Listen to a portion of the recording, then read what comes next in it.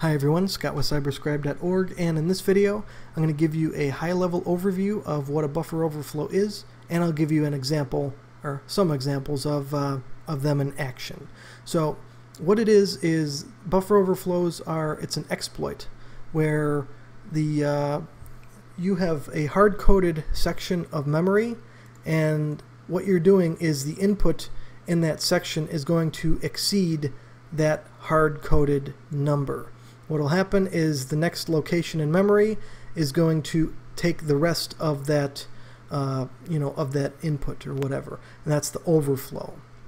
So, for example, let's say you have a program and memory sector A is for someone's name. You say the maximum is 32. You don't do error handling, you don't have memory management or anything like that. We're just talking at a high level overview here. Maximum 32 characters. So that's fine.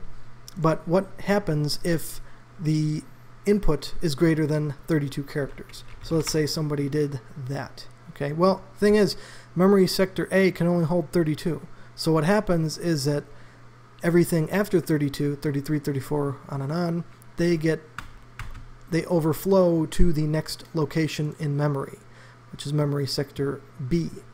So that's a buffer overflow. You can think of the size of this memory location as the buffer and then you can see the overflow when you know it exceeds that maximum amount. So the buffer of uh, memory sector A overflows into the next location. So a buffer overflow if you want to think of it that way. So uh, you know easy to talk about let's see it in action and we'll uh, we'll get some we'll get a little better idea of what it actually is able to do. So we're gonna go and I'm have a quick script. So buffer root.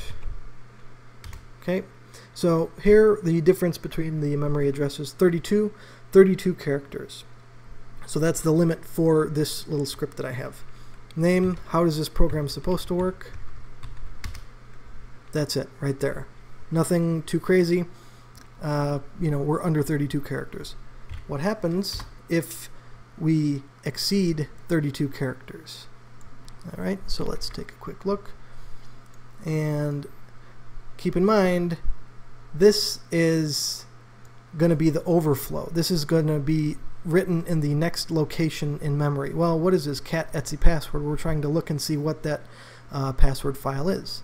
So let's see what happens we're going to do a buffer overflow right now. So let's take a look. All right, there you go. I mean, what it did is the next location in memory just read this as its own command and it executed that command. That's a buffer overflow. So you see we have, I mean, you know, I'm not, I don't have my passwords in here or anything, but I mean, it's it still dumped the, the contents of the Etsy password file. So let's do uh, couple more examples and then I think you'll get the idea of what buffer overflows are and why they can do a lot of damage. So next one, we're just going to see, can we create different files? Yeah, we can. See that? Malicious file right there.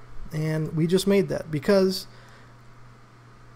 this is in the next location in memory. It's just, you know, it's just reading it as a touch command. So uh, what else can you do? Can you download stuff? Yep, you can do that too. So let's do that. And, uh, you know, kind of really hammer home what, uh, what we can do here with this. So, again, the new memory location is starting at wget, right there. Oops. Um, and what I'm just downloading uh, EPEL repository uh, enterprise packages, extra packages for enterprise Linux. But the point is you can download anything. I just did a wget from you know from this uh, from this program. Think about that. Okay, this program is just like a quick oh what's your name oh hi hi Scott, you know. But because of this buffer overflow, I was able to go and completely go outside of that program and and just uh, you know uh, use wget to download something. So that's kind of the idea with buffer overflows is that it allows arbitrary code execution where you can even go and I mean you can even open up a shell if you have uh, persistence, you know. So, not persistence, but uh, you know, if you're available at that machine at the time that you're doing it. It doesn't always work that way. So, you know, bin sh, we have a shell. And if we just go right there, you're at the root of my whole server. So, you know, think about the damage that you could do. Think about all the kind of stuff that you... Hopefully that was uh, clear enough. And uh, stay tuned for future videos.